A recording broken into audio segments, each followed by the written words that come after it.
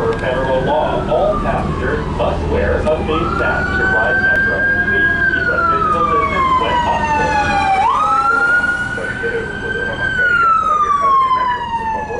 a physical distance when possible.